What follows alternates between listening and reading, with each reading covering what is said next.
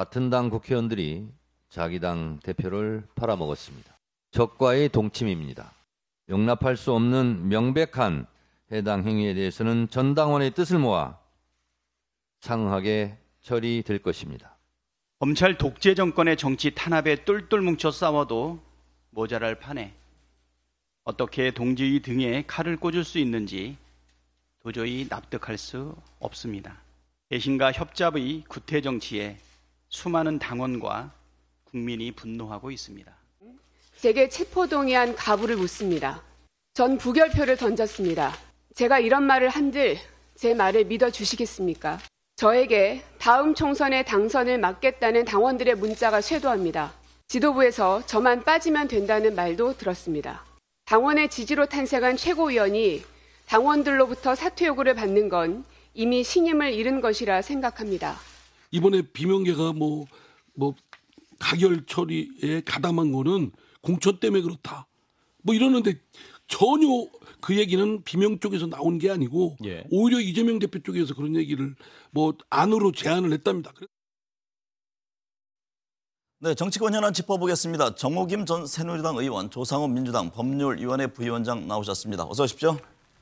네, 조 부위원장님. 예. 민주당 이재명 대표가 어제 단식을 중단한다고 밝혔습니다. 아, 음. 단식 중단에 담긴 의미 또 향후 이 대표의 행보 어떤 전망인지요? 뭐 특별하게 의미를 두고 단식을 중단했다기보다 아마 그 건강 상태에 대한 굉장히 의료진들의 그 마- 많은 걱정과 충고 그다음에 네. 그런 부분들이 있었던 것으로 알고 있고요. 그다음에 이재명 대표가 이미 이제 영장 실질 심사를 받, 받으러 나가야 되는 상황입니다. 근데 지금 건강 상태로는 사실상 그 발걸음 하나 떼기 어려운 상황이어서 이재명 대표 본인 입장에서는 좀 당당한 모습으로 영장 심사에 임하고 싶다 이런 저 의사가 좀 굉장히 강했던 것으로 아는데 그현 시점에서 단식을 중단하지 않고는 어 이게 본인의 의지로 걸어 나가기는 어려운 상황인 것들을 네. 다 알아 아울러서 반영해서 이제 뭔가 영장을 회피하지 않고 당당하게 영장 심사에 응하는 모습을 보여드리기 위해 단식을 중단한 것으로 보입니다. 네, 정우김 전 의원님 단식 중단 이후에 이 대표 앞에 뭐 여러 복잡한 정치적 사안이 지금 놓여 있습니다. 향후 이 대표의 선택지는 어떤 것이 있을까요? 다음 주 화요일에 있을 영장 실질 심사가 어떻게 어, 결론이 내려지느냐에 네, 따라서 공조죠. 네, 모레 모레. 네. 그렇습니다. 네. 네. 어, 달라질 것 같은데요. 만약에 구속이 되면 지금 친명계를 중심으로 해서 옥중 공천 얘기가 나올 정도로 본인이 당을 계속 이끌어가겠다라는 의지를 지금 분명히 하고 있는데 과연 현실적으로 그게 얼마나 적실성이 있을지에 대해서는 어, 의문스럽고요. 그 다음에 만약에 영장 실질 심사에서 아, 구속되지 않는다면 어, 물론 그 당도 여전히 친명계 중심이지만 이재명 대표의 입지도 좀 더 단단해지지 않을까 이런 어, 예상을 하게 됩니다. 그렇기 네. 때문에 지금 다음 주 어, 이번 주라 그래야죠. 네. 이번 주 화요일이 중요한 하나의 그 분수령이 아닐까 생각이 듭니다.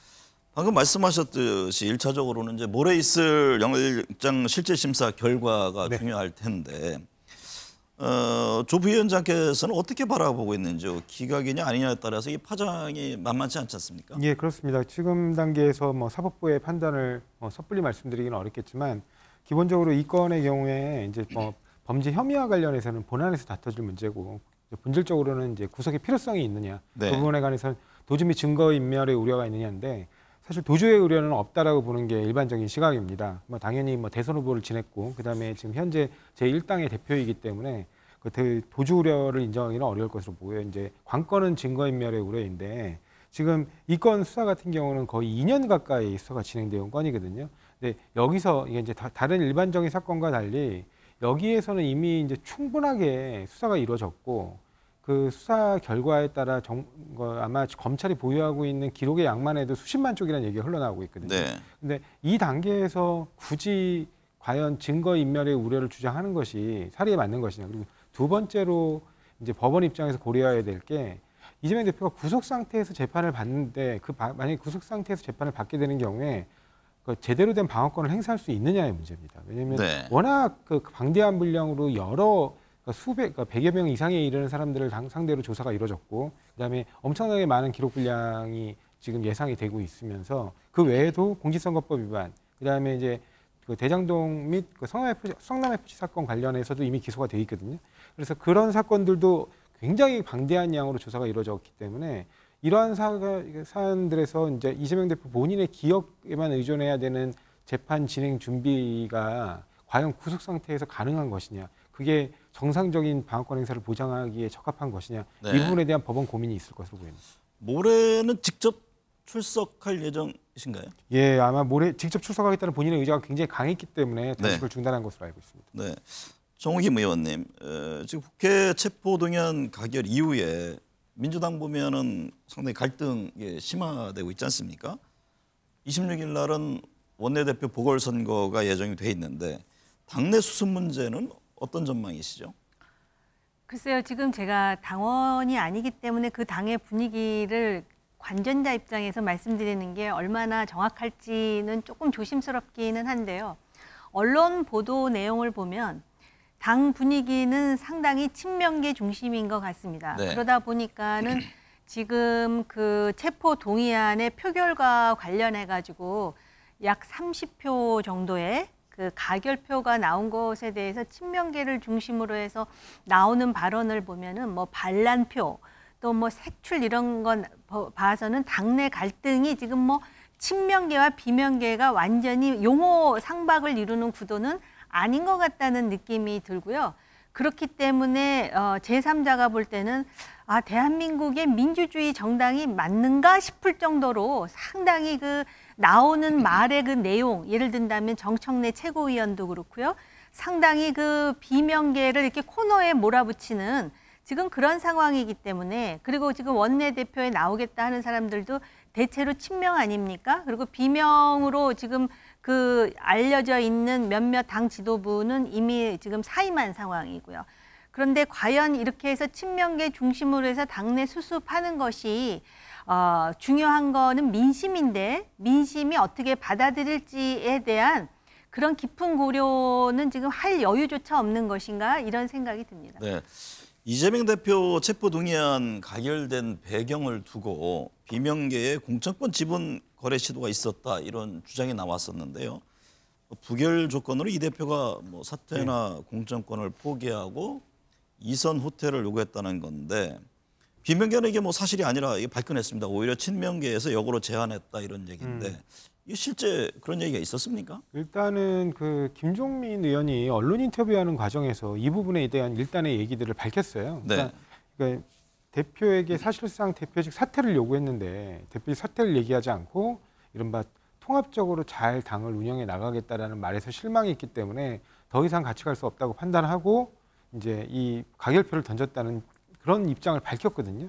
그렇다면 이 이른바 그 공천권 거래설 내지는 대표 사퇴설을 조건으로 거래를 시도했다라는 이 말 자체가 틀린 말은 아닌 것으로 보입니다. 왜냐하면 네. 김종민 의원 본인이 어 이제 본인 스스로도 가결표를 던졌다고 하고 있고 이른바 반명의 중심에 있다라고 본인 스스로가 얘기하고 있는데 본인의 입에서 나왔던 말이기 때문에 이 부분은 그런 식으로 받아들이는 게 맞는 것 같고요. 다만 정말 이, 이 검, 뭐 이, 이재명 대표뿐만 아니라 현재 검찰이 검찰권을 행사하는 방식이 정당하냐 부당하냐에 대해서 민주당 의원들에게 물어보면 친명, 비명, 반명을 가릴 거 없이 다 굉장히 과도하고 문제가 많고 그다음에 부당한 그 이른바 압박 수사 방식이다. 네. 이렇게 지적을 하고 있는데도 불구하고 다른 건도 아니고 다른 건에서는 다 부결표를 던지면서도 당 대표권에 대해서 가결표를 던져서 결국에 어, 이른바 영장이 그 체포 동의안을 가결시켰다라고 하는 부분에 대해서 이른바 77.7%의 압도적 지지를 보낸 당원들이 좀 이해를 하지 못하는 것 같습니다. 네. 정우겸 전 의원님, 이재명 대표의 구속 여부에 따라서 당내 갈등이 새로운 양상으로 전개될 것이라는 분석과 함께 지금 심리적 분당 상황 이런 말까지 나오잖아요. 근데 이 민주당이라는 정치적 자산이 너무 크고 구심점이 없다 이런 점을 들어서 분당까지는 갖지 못할 것이다. 또 이렇게 설명하는 분들이 있는데요. 이런 건 밖에서도 잘 보이잖아요. 네. 어떤 전망이세요? 일단 두 가지로 봐야 되는데요. 정치인들이 총선에서 배지를 다는 거는 현실적으로 굉장히 중요해요. 그거가 일차적. 우선권이에요. 네. 그런 현실을 무시하기는 어렵죠. 그런데 요번에 사실은 요 과정에서 조금 아쉬운 게 이재명 대표가 본인이 어, 소위 불체포 특권을 내려놓겠다 해놓고 바로 표결 직전에 거의 그 부결을 호소하는 메시지를 보냄으로써 상당히 이재명 대표가 자신이 없는 거 아니야라는 인식을 여러 분야에 그 어, 주었거든요. 그러다 보니까는 오히려 비명계 내지는 요번에 가결표를 던진 사람들 저는 그 사람들이 뭐 요번에 이것 때문에 가결표를 던졌다기보다는 애초부터 그런 의식을 갖고 있는데 이재명 대표에 의해서 오히려 정당화됐다라고 저는 생각하고 있거든요. 네. 그런 상황에서 이제 어, 지금 그 친명계에서는 대체로 분당이 안 될 것이다라고 자신하는 것 같아요. 그런데 만약에 계속 친명 중심으로 해서 당을 이렇게 독선적으로 하면서 이제 그 총선이 가까울수록 공천에 있어서 이들에게 불이익을 준다고 생각한다면 현실적으로 분당 가능성이 여전히 열려 있다고 보고요. 그 다음에 이 지금 어, 가결표는 한 30여 표 되지만 모 인사가 그런 말을 하더라고요. 심리적인 가결 하- 하고자 하는 사람을 합하면 80표는 될 것이다 이런 말을 하거든요.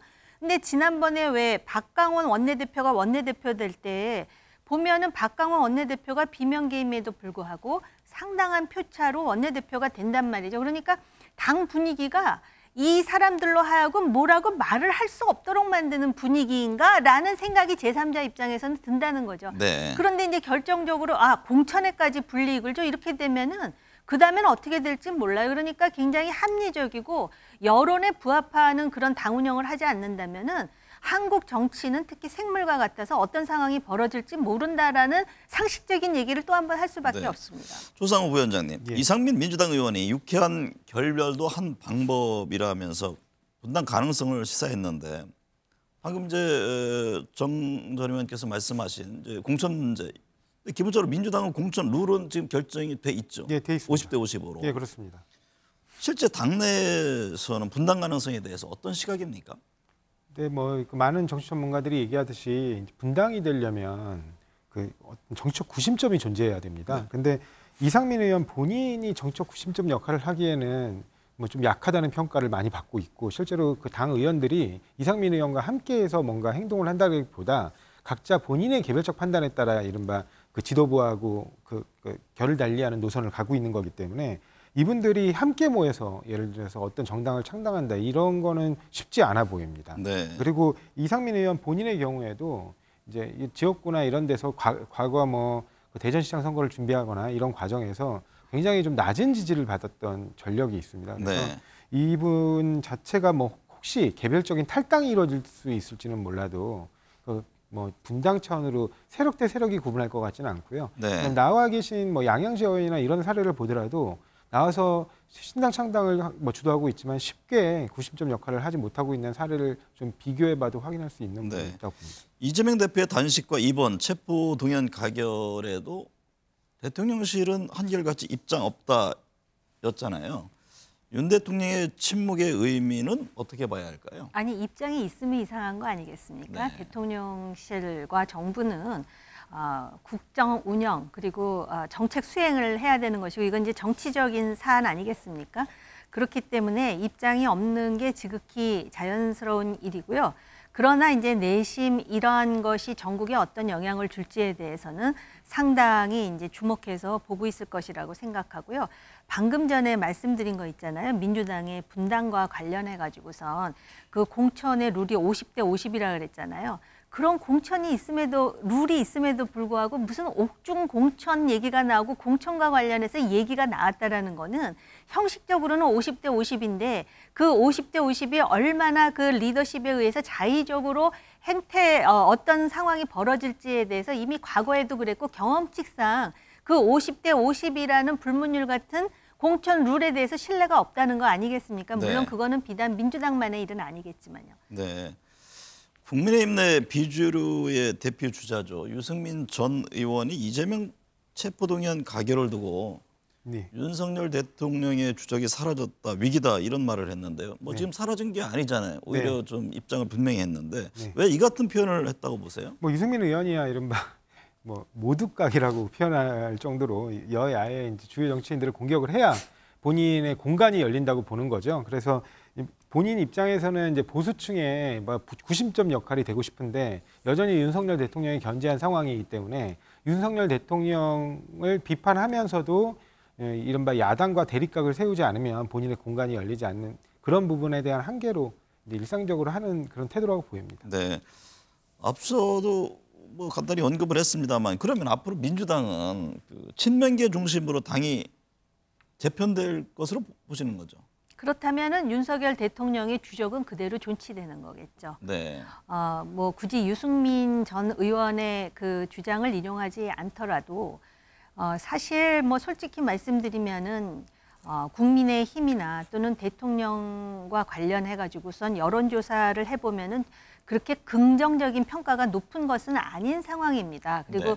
지금 논란이 되고 있는 여러 가지 어, 쟁점들이 있지 않습니까? 그럼에도 불구하고 이런 상황에서 소위 가만히만 있어도 받는다는 그 야당의 반사 이익이라는 거를 민주당이 못 받고 있는 제, 제일 중요한 이유가 바로 이재명 변수라고 생각을 합니다. 그러니까 제3자의 눈에는 그게 보이는데 민주당 내에서는 당 리더십이 강고해야 총선에서 이길 수 있다라고 하는 또 친명계 주장이 상당히 그 안에서는 어, 설득력을 가지는 것 같습니다. 근데 제3자가 볼 때는 오히려 그렇게 해가지고 당이 재편되고 비대위로 가면서 뭔가 합리적으로 야당이 운영된다라는 모습을 보여주는 그 자체로도 상당한 그 열매를 어, 취득할 수가 있을 것 같은데 지금 뭐 이재명 대표도 자기 입장을 지금 분명히 천명하고 있을 뿐만 아니라 친명계 지금 원내 대표도 나온 사람이 다 친명계라는 거 아니겠습니까? 네.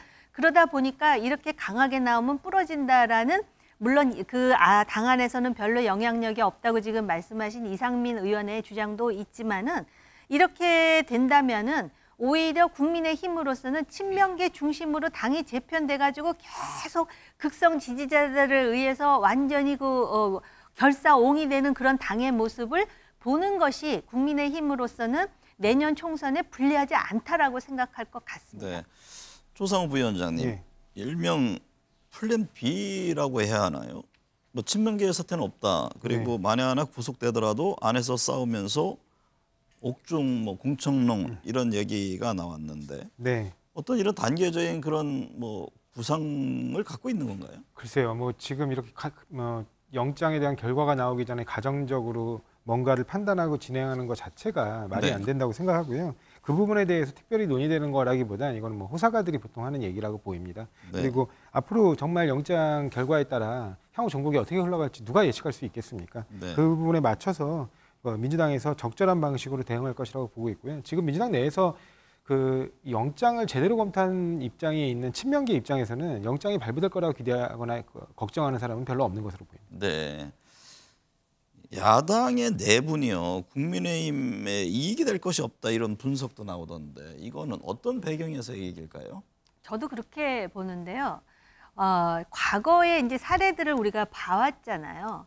그러면 이 내분을 통해서 어쨌든 뭔가를 이렇게 새로 이렇게 쌓아나가는 모습 자체가 여론에 상당히 영향을 줬던 일들이 많았었거든요. 그쪽에 쏠리게 되죠. 또. 그러다 보니까 뭔가 친명도 비명도 아닌 비대위에 의해서 당이 공천 과정도 그렇고 뭔가 이렇게 개혁 방향으로 나아가는 듯한 그리고 새로운 얼굴이 이렇게 전면에 배치되는 그러한 모습으로 가는 과정에 있어서 내부는 어떻게 보면 불가피한 거 아니겠습니까? 네. 그걸 얘기하는 것이죠. 그렇다 보면은 마치 또 고인물 같이 지금 완전히 이렇게 고정화된 국민의 힘에 대해서 과연 어, 유권자들이 어떤 생각을 할 것인가. 그리고 참 희한한 게요. 이렇게 우당탕 우당탕 하는데도 정치에서는 관심을 보이고 주목하는 쪽이 차라리 낫다고 생각해요. 아무런 관심이 없는 그러다 보니까 악플이 무풀보다 낫다는 얘기가 나오듯이 지금 위기 상황이 되니까 민주당이 어떻게 될 것인가? 과연 친명이 이렇게 될 것인가? 이재명 대표가 구속될 것인가? 그럼 그 다음에 비대위가 만들어지면 비대위원장은 누가 될 것인가? 심지어는 어떤 평론가는 누가 되는 게 가장 바람직하다 이런 얘기까지 나오잖아요. 저도 개인적으로 그분이 되는 게 바람직하다고 개인적으로는 생각을 하는데 그런 게 관심의 대상이 되면서 국민의힘에 대한 관심이 줄어들잖아요. 그럼 국민의힘은 아직까지도 계속 저렇게 저체제로 갈 것인가? 아니면 개혁을 완전히 하지 않고 총선에 임할 것인가 그것 때문에 지금 이재명 대표가 어떻게 되느냐에 따라서 주적이 없어지는 것이 유리한지 불리한지를 국민의힘이 벌써부터 긴장하는 거는 오히려 다행이다라고 보여져요. 정치인들 그런 얘기 하잖아요. 본인의 뭐 사망 부고 기사 외에는 네. 뭐든지 나오는 게 좋다. 이제 그렇습니다. 같은 맥락의 네. 말씀이시군요.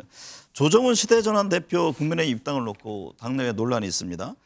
어, 조상우 부위원장님, 예. 이제 인재영입 1호라고 밝혔는데 네. 어떻게 보고 계세요? 글쎄요, 이분이 애초에 시대전환이라는 당을 만들면서 천명했던 어떤 정책이라든가 그 이후의 행보, 예를 들어서 뭐 이재명 당시 경기도지사와 맥을 같이 해서 기본소득 연대를 만들어서 같이 진행하자고 제안했던 거라든가 그런 부분에 비춰보면 과연 국민의힘의 정강 정책에 맞는 분인지는 좀 의심이 되고요. 네. 특히 이분의 행보가 처음에는 2016년에 이, 그, 저 문재인 당시 당 대표의 이른바 영입 인사로 들어왔거든요. 네. 근데 영입 인사 중에 다 공천된 게 아니고 일부가 공천을 못 받으신 분들이 있어요. 그 중에 이분도 거기에 속하는데 공천을 못 받으니까 바로 탈당을 하셨어요. 그리고 그 이후에 시대전환이라는 당을 만들고 다시 또 비례정당이라는 비판이 굉장히 많았지만 비례정당이 구성되자마자 다시 탈당해서 비례정당에 참여했다가 다시 또 시대전환으로 다시 돌아가고 그리고 이번에는 결국 다시 또 시대전환과 뭐 합당을 논의하다가 지금 얘기 나오는 거 보니까 시대전환의 일부가 동의하지 않고 있어서 이거를 어떤 방식으로 왜냐하면 이분이 비례대표이기 때문에 본인이 개인적으로 탈당을 해가지고는 의원 자격으로 합류는 불가능하거든요. 네. 그래서 그런 부분을 설랑설레하는 모습을 보면서 이분이 사실은 주류 세력만 너무 쫓아가는 거 아닌가. 왜냐하면 그 이전에 민주당 때 공천을 바라고 들어왔다. 그다음에 그 이후에 공천이 안 되니 나오고 다시 또 당을 만들어서 다시 결과적으로는 비례대표가 되고 그 이후, 이후에 민주당이 여당이 되니까 민주당과 행보를 쭉 같이 하시다가 다시 또 민주당이 야당으로 바뀌게 되고 이제 여, 여야가 세력 교체가 이루어지는 3, 4월부터 갑자기 태도를 돌변하셔가지고 이른바 저 국민의힘과 궤를 같이 맞추고 있거든요. 네. 그런 부분들을 국민들이 그렇게 썩 좋아하실까 좀 의문입니다. 정우임 의원께서는 어떻게 보고 계셨어요? 아마 이제 국민의힘에서는 소위 제3지대에 있는 정치인들을 어, 끌어모아서 빅텐트, 보수 빅텐트 얘기하면서 중도를 확장하는 방법의 일환으로 인재 영입 1호로 지금 조정훈 의원이 들어오게 된다라는 것인데 어, 제가 그 언론 보도를 보니까 양양자 의원은 그 거절했다. 뭐 네. 그런 말도 나오는데요. 실제로 이렇게 우리나라의 정치에 대해서 사람들이 신뢰를 하지 않으면서도 당적을 이렇게 옮기는 거에 대해서 그렇게 긍정적으로 인식하고 있지는 않습니다. 그러다 보니까 뭐 철새라는 말도 나오고 또 중도 확장이라는 것이 그러려면은 이제 소위 그 뭐라 그럽니까? 어, 상당히 어려운 지역에서 그 어, 공천을 받아가지고선 거기서 어떤 그 모멘텀을 만들 수 있는 정도의 그런 어, 깊은 인상을 남겨야 되는데 지금 오히려 보수 내부에서도 이거에 대해서 뒷말이 나오는 거기 때문에 조정훈 의원 스스로도 상당히 당혹해 할 것 같고요.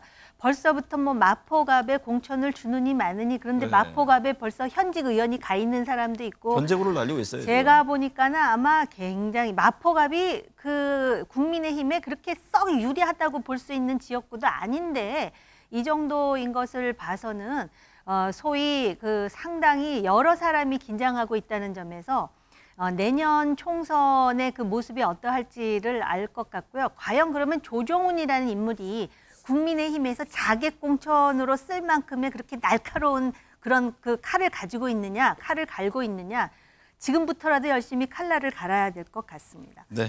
오늘 도움 말씀 감사합니다.